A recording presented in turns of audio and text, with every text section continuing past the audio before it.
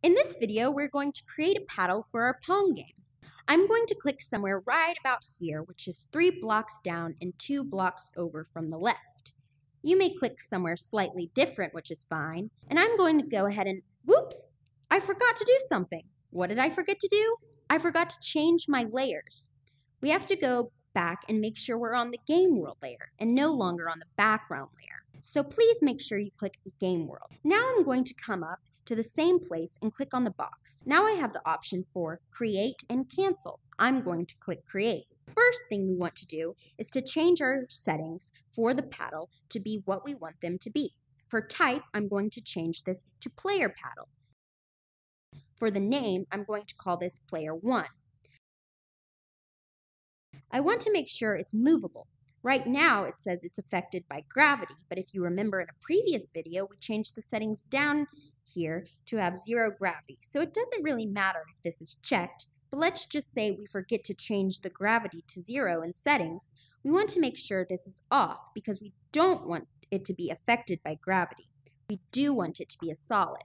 We have some options here for drag, bounce, and friction. We're just going to leave those at the default values. We'll talk more about changing those in a later tutorial. I'm going to change this shape to rectangle, so this is good. Please make sure your settings look like mine. Next, we're going to come to edit this sprite, and what I'm going to do is to scale this. So instead of just being one block, it will actually be one block across, but three blocks down. I can do that by coming over here and clicking on this scale icon.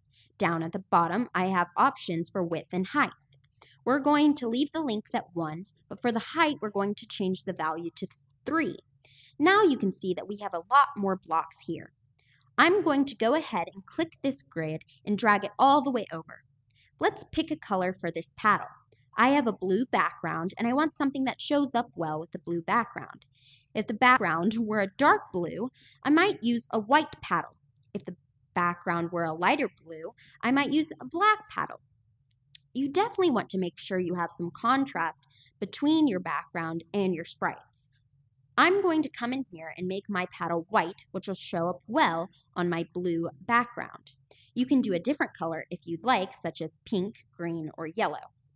Now I'm going to come in here and change all these boxes to be white. This will take just a minute to do. So while I'm doing this, if you will, please go ahead and create your paddle sprite. Okay, so now I'm done. I'm going to choose OK. And there is my paddle on our game area. I'm going to go ahead and click OK again. All right, in the next video, we're going to create the ball. See you in the next video.